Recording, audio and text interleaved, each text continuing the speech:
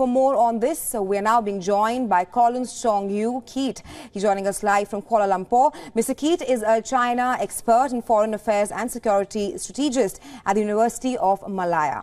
Thank you so much for joining us and beyond, sir. Thank you. Good afternoon from Malaysia. Right, sir. Now, we've been talking about how China's exports have dropped over the last two five-year periods.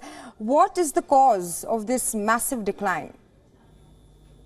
Well, it's an open secret that the uh, capacities of Chinese military assets, including weapons and arms, have been uh, not as comparable as to Western assets. As we have seen now the case of growing number of countries realizing the, uh, you know, the, the, the weaknesses in terms of, you know, they are not being combat ready, they are not being combat tested, and that uh, they, are, they remain of low quality. And of course, also the after sales processes in terms of maintenance, in terms of the operability. And it's, it, now it has, it has been uh, you know proven, and that uh, growing number of countries have also been wary. They have received you know these kind of weapons that are not really capable of maintaining their defense uh, capacities, and that uh, of course China uses this as a pretext in the first phase of selling these weapons based based on the uh, uh, of course the, the pricing factor as compared to their Western counterparts. But as in the case of the BRI, for example, a lot of countries have been you know they have been uh, you know bought by these perceptions of this addictive short-term reliance on based on pricing factor, and now that they have realized the uh, the, the, weaknesses of these assets and, and capacities, and of course we have seen different factors involved as to how Beijing has used this defense diplomacy, arms exports, and now that as a tool to complement its existing efforts of using economic coercion and hard power intimidation on countries. And now that we have seen how the, the, the beginning of Chinese economic decline has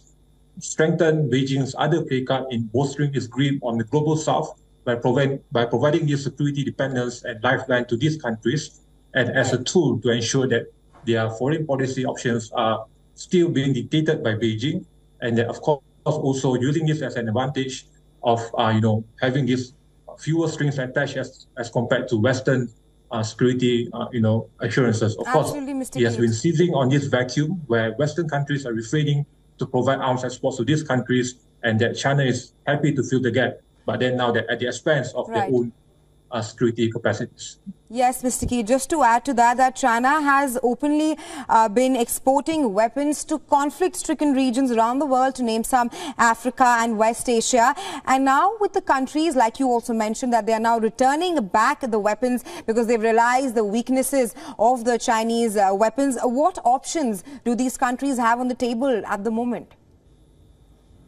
Of course, they, they have the greater options of pivoting back to the assurances of the West and of course, China has been using this as a great bargaining chip and card to ensure that these countries remain under the periphery of Chinese defense diplomacy, mm-hmm. and that we have seen how it has maintained these arms exports to countries which Beijing thinks will be of great asset to Beijing in the long run in terms of having these countries to provide these uh, additional, you know, um, tensions or you know future confrontations with Beijing's adversaries in the case of Pakistan, for example, we have seen how it receives the biggest share of arms export from Beijing, right. and that knowing that providing arms to these countries, including Myanmar, also having these returns in terms of providing, uh, you know, this enhanced bulwark of uh, defense capacities against uh, traditional, um, you know, adversaries of China, including India and, and Japan, for example. So, so these are the tools that Beijing has been capitalizing upon, and that we have seen also how, uh, apart from exporting arms, Beijing has also used the uh, advantage and pretext of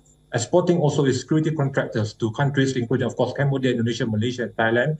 Uh, you know, using that as a pretext to secure its current infrastructure, uh, you know, capacities or infrastructure, um, you know, assets in those countries, and using that advantage now to have greater or deeper access to neighboring countries. So these are the the, uh, bargaining chips and cards now using this as a tool apart from its economic coercion now that Beijing knows with its current economic decline, countries have been realizing the, the you know the, the risks involved and that uh, Beijing has Beijing is now being squeezed by by a declining time frame and that it knows that having to bolster its defense diplomacy and to use these arms export and arms uh, security lifeline assurances apart yes, from its economic lifeline assurance to this to this country. So this is right. uh, a great strategy by Beijing to ensure that it can maintain its supremacy in in in a two-pronged factor. Right, Mr. Keat, uh, thank you so much for joining us on WION and sharing your detailed analysis on this story. Thanks very much. Thank you. Thank you.